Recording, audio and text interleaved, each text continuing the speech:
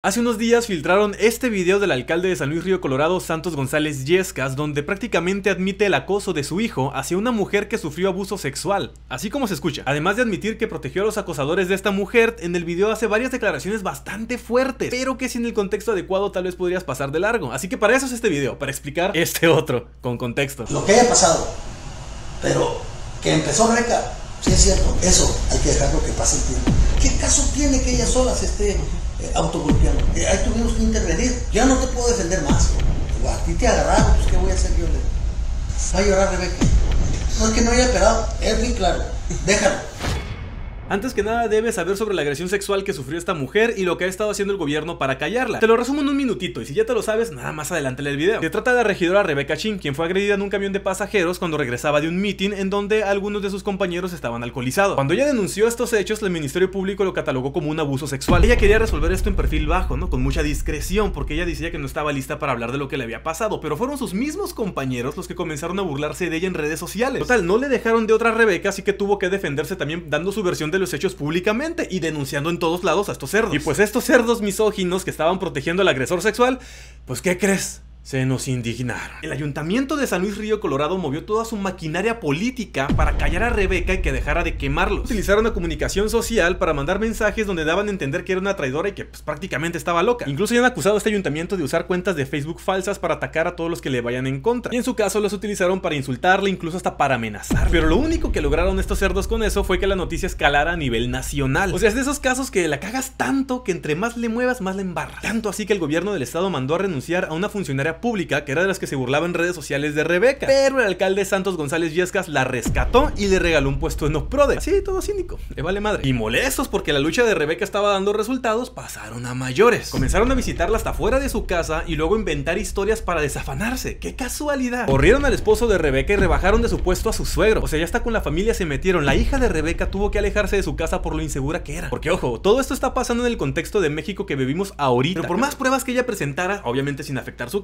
el ayuntamiento no dejaba de decir que era mentira, que era un chisme de viejas, que era pura grilla política. Así que harta de todo esto, Rebeca decidió liberar un video que es una de las pruebas, una güey, una de las pruebas que tiene en contra de ellos, en donde se ve el alcalde Santos González Yescas que no sabe que está siendo grabado, admitiendo todo lo que le estaban haciendo. Ahora sí, llegamos al punto del video. Ven, ya tiene el contexto de todo lo que estuvo pasando. Bien resumido, obviamente, porque han pasado muchísimas cosas. Bien resumido, eso es lo que pasó. Ahora sí veamos el video de la confesión del alcalde de San Luis Río Colorado con contexto. ¿Cómo es posible ¿verdad? De que no va a llegar a ningún lado. Esa es una grilla vulgar y corriente. Yo no sé por qué se atreve a hacer eso, Rebeca. La verdad, la cosa. Mira, pues así que tú digas que no va a llegar a ningún lado. Ya llegó a nivel nacional y tienen miedo porque saben que van a haber consecuencias. Y güey, vulgar y corriente es agredir a una mujer víctima de abuso sexual para proteger a su agresor. Defenderse de ustedes no. Esto no es grilla. Es una mujer teniendo que defenderse de ustedes. Yo no sé por qué se atreve a hacer eso, Rebeca. La verdad, la cosa.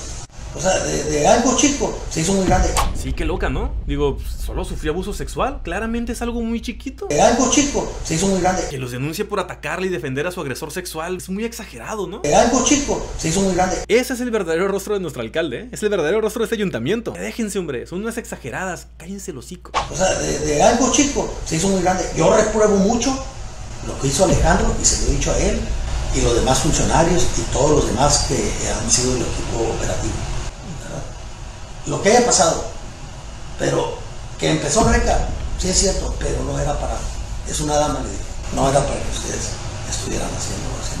Ojo aquí, Alejandro es el hijo del alcalde y es el actual agente fiscal del estado. Y desde el inicio de su administración ha estado en polémicas porque hasta sus mismos regidores acusan que su hijo se está paseando como si fuera el jefe, paseándose por los pasillos del ayuntamiento, dando órdenes y hasta corriendo gente. El hijo del alcalde. Pues es el brazo izquierdo del alcalde, pues se encarga de hacer todas las porquerías que no convienen que manchen la imagen del alcalde. Y cuando los descubren, el alcalde nada más voltea ¡Ey, Alejandrito! No, ya, malo. Ay, yo no sabía, ¿eh? Yo no sabía. Todos los gobiernos tienen a su brazo izquierdo, ok, esto no es nuevo. Pero que empezó Reca, sí es cierto, pero no era para, es una dama, le dije, no era para que ustedes estuvieran haciendo, haciendo eso. Pero ojo, no está diciendo que su hijo sea el abusador sexual, sino que es parte de los que la estuvieron acosando para que se calle. O sea, aquí el alcalde acaba de admitir que reprueba lo que su hijo Alejandro hizo y el resto del equipo operativo. O sea, sí, sé que mi hijo está atacando a esta mujer usando toda la maquinaria política que tenemos a nuestra disposición, pero yo no estoy de acuerdo, ¿eh?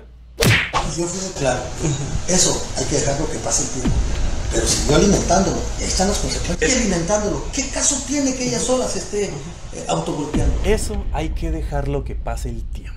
Sabiendo todo lo que estaba pasando, eligió ignorarlo. ¿Con qué cara van a venir ahora a decir que ellos no estaban enterados o que intentaron detenerlo? Deja que pase el tiempo, que se les olvide. No puedo culpar la parte paternal del alcalde de San Luis Río Colorado de querer defender a su hijo, de querer protegerlo incluso de sus propias porquerías. Pero no estamos hablando de un niño que se robó un dulce cuando fueron al mandado. Estamos hablando de un agente fiscal del gobierno del estado moviendo su maquinaria política para agredir a una mujer que sufrió abuso sexual a conciencia del alcalde de la ciudad. ¿En serio? ¿No se dan cuenta de lo grave que es eso? Del peligro que corren nuestras mujeres en este tiempo por esta gente. ¿Qué caso tiene que ella sola se esté eh, autogolpeando? ¿Qué caso tiene que ella se esté autogolpeando sola? Dice. Porque él sabe la misoginia que se vive en la política actualmente y sabe que el hecho de que ella se haya intentado defender de sus agresores le va a cerrar muchas puertas, le va a pasar factura política con otros miembros de su partido o de cualquier partido que también son unos misóginos en el poder. Porque aquí Rebeca está demostrando que es una de las mujeres que no va a permitir que abusen de ella o que le hagan comentarios misóginos, que se va a defender, no como las otras mujeres que prefieren que se queden calladitas por miedo o por un hueso. Lo único que ha hecho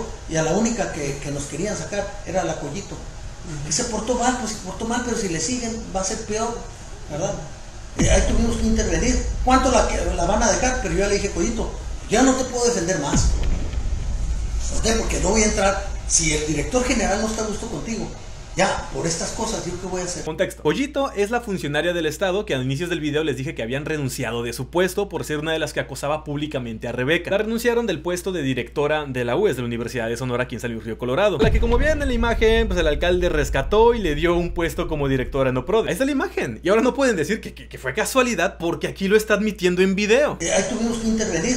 ¿Cuánto la, la van a dejar? Pero yo ya le dije, Collito, ya no te puedo defender más. Está admitiendo que sí estaba enterado de las agresiones y que sí ha estado defendiendo a los agresores. Estas no son palabras menores, es la prueba definitiva que sí han estado moviendo su maquinaria política para atacar a Rebeca. El director general no está a gusto contigo. Ya, por estas cosas, ¿yo qué voy a hacer? Le dije, "Ah, acuérdense, el- las consecuencias se tienen que pagar. A ti te agarraron, pues ¿qué voy a hacer yo? A ti te agarraron. Pues, ¿qué voy a hacer yo? Fíjate nomás. Pues, ¿cuántos más hay, santos? Allá porque la agarraron. ¿Y a los demás? O sea, que en toda la bola que atacó a Rebeca, la única que agarraron fue a Socorro Ames. Se la agarraron como de chivo expiatorio. Aunque igual la rescató después. No es que no la haya pelado. ¿Por qué? ¿Para, ¿Para qué? A ver, Rebeca, decirle lo que yo te digo a ti o lo que yo te comenté a ti. Va a llorar Rebeca. Y me van a decir que esto, yo ya me la sé, ¿para qué vamos a entrar en esa de un pleito? Que ya lo hagamos ella y yo. Yo no, no tiene caso. A llorar Rebeca. Todo, todo macho, todo misógino. Sí, porque ya no lo hacen como antes. No, unas cachetadas se pueden hacer tortillas. No, hasta hoy es día que el alcalde no se ha sentado a hablar con Rebeca. Porque va a llorar. ¿Qué tan débil cree que son las mujeres hoy en día? No se quedó llorando como él dijo, eh, y les consta. Porque ya andan dando patadas de ahogados porque saben que la que se viene está gruesa. Sin albur. Ya los denunció. Desde su propio partido hasta las fiscalías, las contralorías y hasta con el INE. Y hay estatutos que no permiten que hombres que violentan mujeres contiendan por algún puesto en el futuro. Y ahí es donde les duele. Nada aterra más a un político que perder el poder. De todas formas, ¿para qué lo quieren? ¿Para seguir agrediendo mujeres? Patadas de ahogado están dando con todos esos ataques, porque las mujeres no son débiles y se lo van a demostrar a cuantos misóginos haga falta. Esto, yo ya me la sé, ¿para qué vamos a entrar en esa de un pleito? Que ya lo hagamos ella y yo. Yo no, no tiene caso. No es que no haya pelado, es muy claro. Déjalo. Todo lo que dejamos repercute.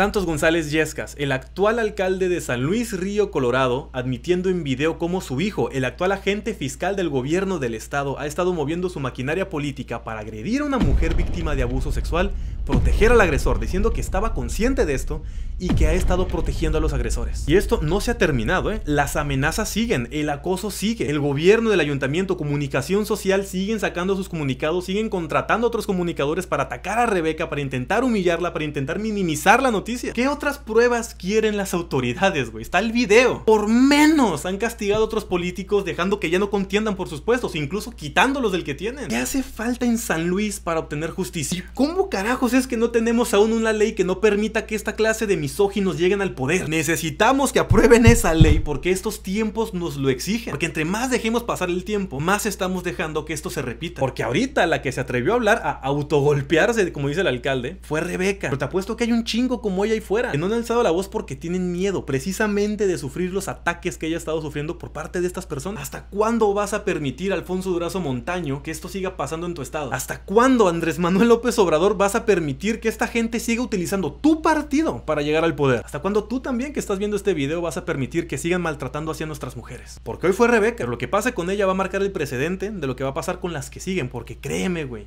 siguen más. Van a obtener justicia por alzar la voz.